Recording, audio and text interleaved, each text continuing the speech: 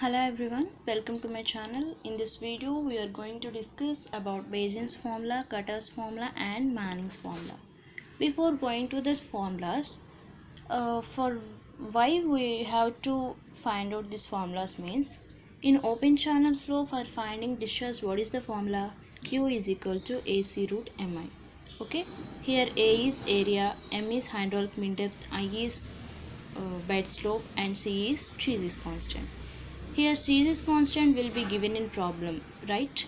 If Chezy's constant is not given then what we have to do means we have to find the Chezy's constant. So for finding Chezy's constant there are three formulas Bazin's formula Kutter's formula and Manning's formula.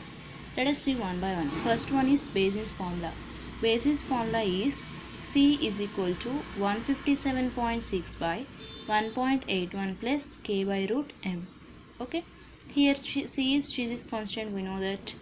And M is hydraulic mean depth. Hydraulic mean depth means area by perimeter okay? So that we get M value. Then what is K means? K is Bazin's constant okay? K is Bazin's constant. 90% of in the examinations uh, this Bazin's constant will be given in problems okay? If it is not given we have to find out the Bazin's constant how we have to find out means uh, there are five fixed uh, values based on the surface of that uh, channel. If the channel is smooth cemented surface the Bazin's constant will be 0.11 okay? If the channel is brick or concrete surface the Bazin's constant will be 0.21 uh, if uh, the channel is poor brick work okay? Then we use this uh, Bazin's constant 0.83 and for highly rough surface we use 3.17 and for ordinary surface we use 2.36 okay? Bazin's constant will be given in problems. If not given uh, the type of the channel surface will be given. Based on that we will take these values.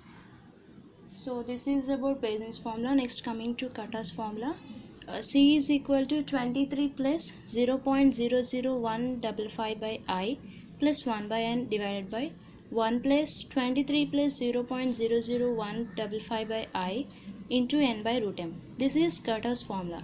Here c is again Chezy's constant and m is a hydraulic mean depth and i is bed slope. We know this. And what is n? n means here Kutter's roughness factor. This Kutter's roughness factor will be given in the problem. Okay. Next coming to Manning's formula. Manning's formula is C is equal to 1 by n into m power 1 by 6. Again C is Chezy's constant, m is hydraulic mean depth. These two are same and n is roughness factor. This is also given in the problem.